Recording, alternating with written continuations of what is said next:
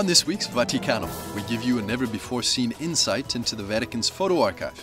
Follow the Pope's photographers on their daily routine and visit the archive and the workshop where everyday papal history is recorded and stored. Learn about the graces, peculiarities, and challenges of this unique office of the Vatican and see some never before seen footage of events and private papal activities.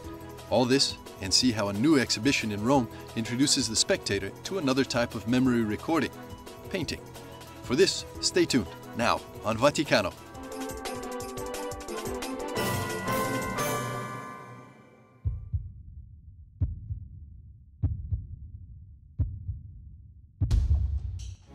Across history, the human being has made use of different tools to leave traces of his footprint on this world.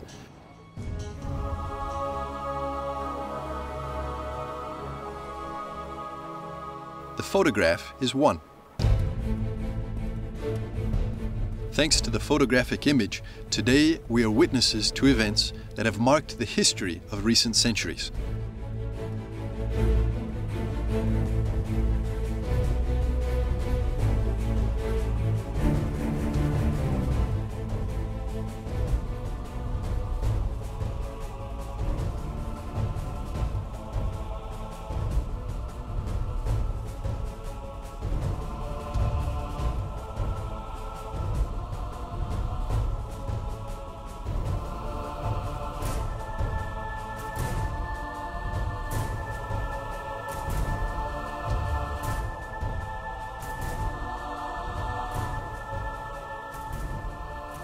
Since 1933, the Holy See has been documenting the life of the pontiffs through photos.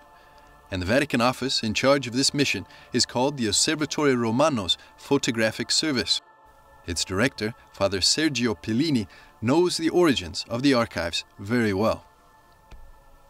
Questo tipo di servizio è nato un po' così spontaneamente. This type of service was born like this, a bit spontaneously. Let's talk about the first important person. We can say it like that the founder of this institution was Signor Giordani Francesco, who did first autonomously and then step by step, closer in collaboration with the Holy See, the photography, and he made the photos of the Holy Father, available precisely as a service for the Holy See. Ma eh, ufficialmente come We are in the 30s when this activity officially took off as a photographic service, as agency one might say, which received its structure in the 70s. Concretely, in 1977, we began to officially distribute and reproduce the photographs not just on a national level, but also internationally. fotografie a- non solo a livello nazionale ma anche a livello mondiale. In each photo, the photographic service seeks to bring the figure of the successor of Peter to the entire world. Il nostro lavoro è un lavoro innanzitutto a servizio Our work is a work in the service of the Holy Father, to make his mission more visible and the values that go along with the image, the meetings, and the conferences. Every year is being documented and archived, since it remains in the memory with its ideas, the people, and the places. alle persone eh, presenti e anche ai posteri. Che a volte ci sono delle fotografie eh, Sometimes the photos, we might say, are a little bit bizarre. But in the selection of the photos, we always try to sort the images out well so that nobody can misinterpret an attitude or even a mode of positioning oneself. atteggiamento, una modalità anche di porsi. Quality is a priority in the photography service's work. To obtain a high quality harmony between the different elements that compose the photograph is essential. La qualità non è soltanto fare una bella fotografia nitida con dei bei colori, The goal is not just to shoot a beautiful photograph with its pretty colors, but everything that goes into that photograph. The elements, our gestures, the details, the together of all the elements, of its context in which the photos are made up, and how it is presented to the public later.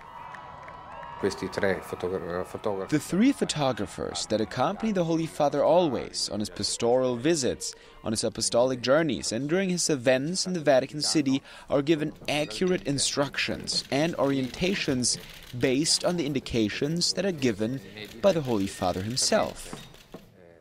We have photographs which are unedited since they're images of private encounters. They serve as documents but are reserved and secret. Other photos are made public after a little bit of time, not immediately, depending on the occasion and the necessities of the moment.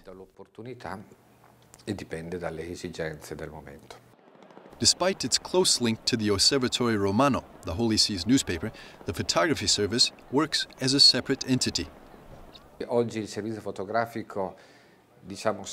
Today, the photographic service serves the publication Osservatore Romano only in a small aspect, because we are connected to a variety of agencies like ANSA and Reuters, who have a direct link to the photographic service, and they in turn link to multiple other agencies. For Father Sergio Pellini, the secret to capturing a good photograph depends on two factors.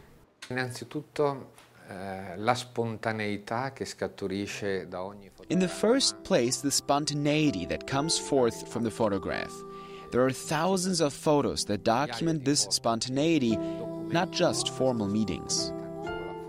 Second, the encounter of poverty in our world. Speaking of the sick, the poor, also the least valued, and the children. These are always scenes that trigger tenderness, affection, and a desire to give hope through presence, through signs as well as through a smile. Dare futuro, ecco, attraverso anche una presenza, attraverso un segno, attraverso un sorriso.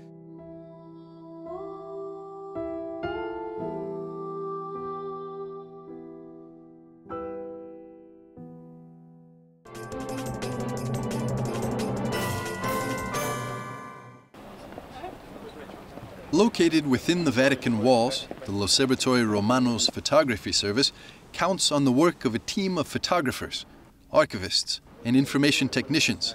Each of them work in service to the image of the Holy Father, from the moment the photo is taken to their archiving, conservation, and distribution. Marco Tassi is the coordinator of the photography service. He's going to take us along for a day in the life of the office. Il giorno del fotografo eh, viene dettato. The day of a photographer is marked by the agenda of the Holy Father, but not only, but also by the events of the Roman Curia, the Secretariat of State, and other secretaries. Any event, really, that the Secretariat of State requests a photographic documentation for. But the great majority of events are moments with the Holy Father. Especially the audiences on Wednesdays are very, very, very laborious to follow the Pope with the faithful. They want to embrace him, they want to greet him. And to document all of that is a pretty difficult work. But we have photographers who can rise to the task. Working beside the Pope and capturing high quality photographs without being an obstacle at the event one is covering is not an easy task. And it's for this reason that the photographer that accompanies the Pope must find the right balance and act with extreme professionalism. The photographer must be most of all a person that can document, that can do his job with discretion. The special task of the photographer of the Vatican is his discretion. He must be one part with the room and photograph everything very quietly and in respect with the total trust of the Holy Father. It is the Holy Father himself who gave us to understand that he likes our photographers very much. When an event ends, the photographers head to the photo service where the second phase in the process begins. Fotografi, nel momento in cui il fotografo viene, vengono in the moment in which the photographer comes back, he leaves all the photos of the events here, and they are being looked at. They get edited a bit, and then they enter the archive. In the photographic laboratory, they're renamed, and finally, they're put on display for the public in a reduced form with a watermark on the file, so they can be browsed through in our shop. E si possono poi vedere eh, nel, nel negozio, nel nostro negozio. In addition to the creation of a digital archive, every photograph is printed and archived. We print them in different media in different formats, about 200,000 photos a month. First, the photos were not scanned, but only the negatives were kept. Now, all the scans are being made, also of the audience or any other event of the Holy Father. Everything gets scanned, printed, or archived, also in paper form. But wouldn't all of these copies be a major burden on the environment? Mr. Tassi says the archive was created to be environmentally friendly. Photos are developed with the help of our colleagues, people that are specialized in this kind of work, and also with the help of this machine, which works with all the necessary chemicals. We have reduced these products greatly in recent years. We have made changes, which have given us the possibility to reduce almost a third of the number of liters which are used to develop the photos. And that gives us the possibility to help the environment and reduce our waste. Since 2006, with the arrival of the digital era, the world of photography has completely abandoned the analog format. And it's exactly the digitalization of photography that's the main driver of an exponential increase in the office's production. There are around 20 terabyte of photos. That means there are about 4 to 5 million digital photographs overall. Currently, the photography service is also facing another challenge digitizing all of its historical patrimony, which hasn't yet been touched. There are literally millions of negatives that are now vulnerable, priceless photos that risk being lost. We are here in an air conditioned room where we preserve all the negatives. The main important thing is that these negatives should be digitalized to make them clearer. Some are already yellow and others are broken. If we do not manage to digitalize them, these photos will be lost. On the other hand, if we do manage to digitalize them, then we will bring to life photos never seen before. These photos are conserved in this room with air conditioning and the boxes of carton. The boxes already deteriorate, and it has become quite urgent to start digitalizing them as soon as possible. These negatives are from 1933 all from the era of Giordani, who covered the whole pontificate of Pius XII, some parts of Pius XI, and all of Pius XII.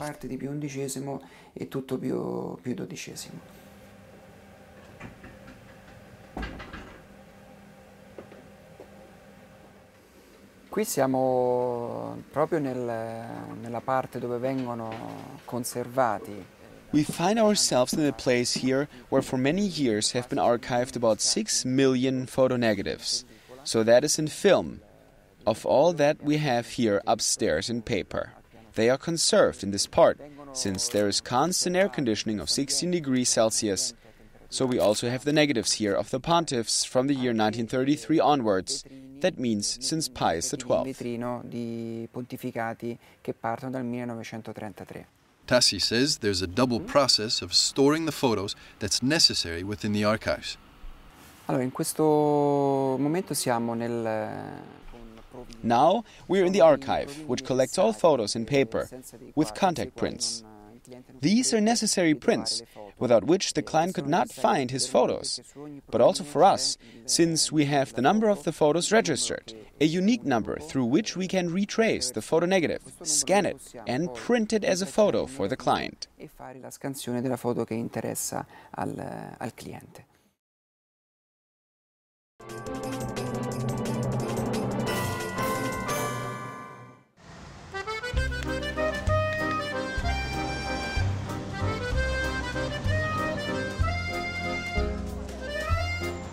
Rome, the Eternal City.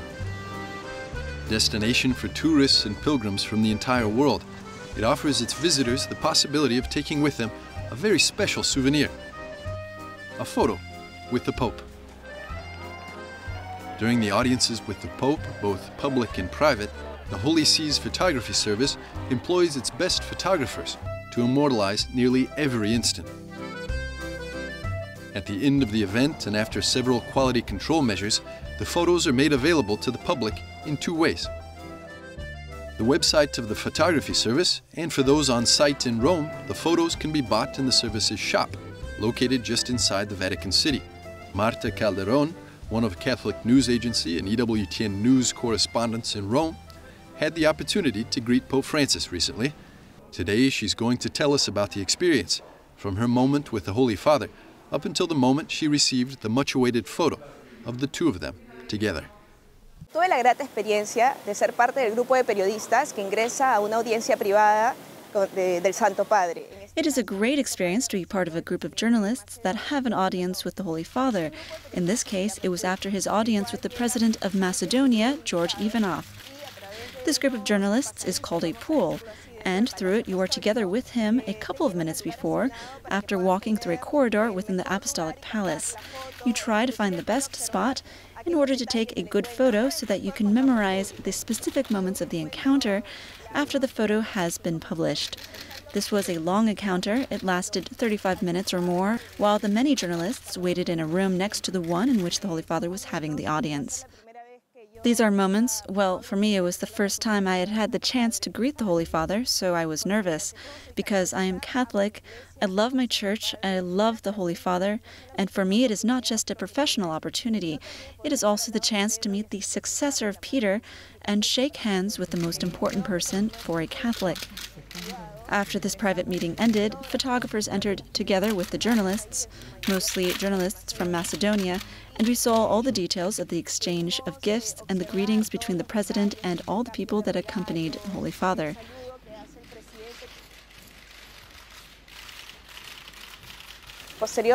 Afterwards, a person in charge of the press came who usually works in the press office of the Vatican and told me I would have the opportunity to greet him.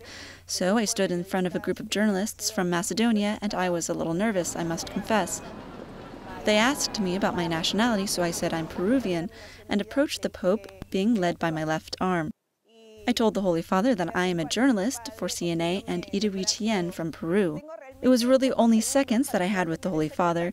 The first thing I said was, Your Holiness, my name is Marta Calderon. Then I shook his hand. Well, he shook my hand, really. The first reaction that came to mind was to kiss the ring of the fisherman on his finger. Then I was told I would have to step back. It was only seconds, but I think these were unforgettable seconds for me, and the photograph came out with outstanding detail. I will always hold this photo dear because it will remind me of a unique opportunity. Journalists that were part of the pool then went back to the press office to meet with all those who did not enter the private encounter. Then you have to wait a couple of days, since the meeting happened on Saturday. I went on the website of the Osservatore Romano and searched in its picture gallery for the event. It caught my attention that it was easy to find my picture, since the events of the Pope are sorted by month, year, and day by title. So in this case, the Holy Father and the President of Macedonia.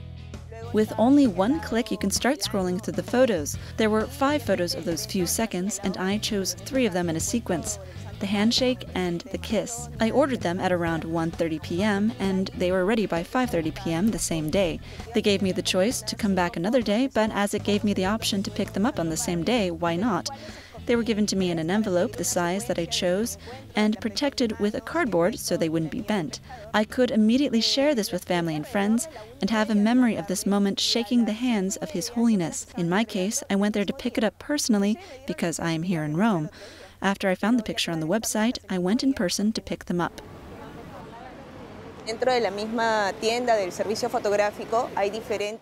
In the photo services shop, there are machines where people can look for their photos, carrying out the same process, choosing the photos of a given event, ordering them, and then picking them up later.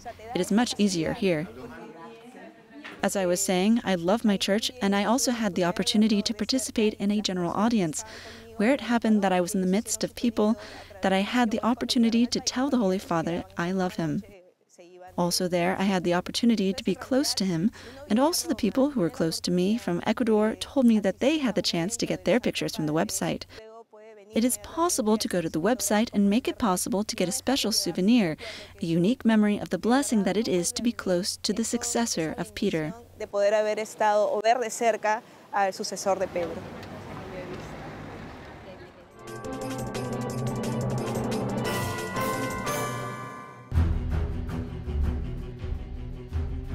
The Roman Empire shaped history. One very important and practical element of making history is to be remembered. To be remembered for the ancient Romans was to be immortalized. Therefore, they went to great pains to make sure that they would be remembered. And what's more lasting than architecture? Squares, palaces, colonnades, and statues are witness to the grandeur of the empire of the Romans, and some buildings had a practical purpose. They recorded history themselves, just like photography does today. The Arch of Constantine, for example, situated in the Forum, was built by the first Roman emperor convert to Christianity, Constantine. It records the battle over Maxentius at the Milvian Bridge in 312. Detailed friezes show moments of the battle and the moment of victory. Similar to this, paintings like this one by Jan Matejko in the Vatican Museums commemorates the moment of victory of the Polish king John Sobieski over the Turks at Vienna. This quality is shared by both media, photography, and painting, that is, to commemorate. In the Geographical Center of Rome, a new exhibition was recently opened displaying one of the greatest Italian painters of history, Raphael. More precisely, it correlates him to two other masters and their relation in style. The name? Raphael, Barocci, and Parmigianino. Though many similarities exist between creating photos and painting, there is a fundamental difference. Costruzione. Renaissance painting is always an art of construction. It is a form of art that shows an idea that always originates in the head of the author. Photography has something much more immediate. In a certain way, it has something much more authentic, a much more natural characteristic in relation to reality. But also, she is fruit of the choice of the photographer. It has an immediate character that is neither present in drawing nor in painting of the Renaissance, where every detail and every part is constructed by the artist to create a context in which the figures are inserted. particolare è costruito per il contesto nel quale la figura è inserita. One of these elements is the gaze of the figure, the element that gives name to the exhibit about Raphael, Barocci, and Parmigianino. In this exhibition, we show the relation that exists between the three great artists, how they were influenced, how Raphael influences the paintings of Barocci and Parmigianino, and how the gaze of each of them has transformed the way in which we as onlookers judge the art of their time. All three of them have, in their time, received inspirations from antiquity. All three of them used drawing as a mediation between the inspiration that moved their hands and the head and the artistic execution of their work. la loro testa e la realizzazione dell'opera d'arte. Raphael is a master painter of the Renaissance and is known for the originality of his work. He even introduced new elements to the craft. Raffaello per primo Raphael, as the first one, burned the bridges of the 14th century portrait tradition and invented a completely new image with his self portrait, which stems from the Uffizi collection. Raphael was also an innovator insofar as he involved the viewer into the scenes on display. The crossing of the lines that go beyond the drawing of the painting draws, in a certain way, the spectator to the inside. che in qualche modo avvolge il visitatore. One of the drawings is the deposition of Christ after his crucifixion. It is symbolic for the artist's innovations. Chiaramente ispirato da uno It is surely inspired by an iconographic scheme present in the ancient art, especially shown in sarcophagi. But in the relation to these ancient models, the innovation of Raphael wins by an innovative position of perspective of the figures shown in full body and three quarters of the body. He manages to make the spectator part of the painting, as if he was present in the scene with his body at the scene of the disposition of Christ's body in this case. This inclusion is very suggestive, since the gazes of the faces of all present figures draw the participation in a magnificent way. The most emblematic character of Raphael are these two elements the involvement of the context and the involvement of the emotions that we want to explain with this exhibit. più comprensibile di Raffaello che abbiamo voluto raccontare in questa mostra. The exhibition features over 70 works and is open until mid January.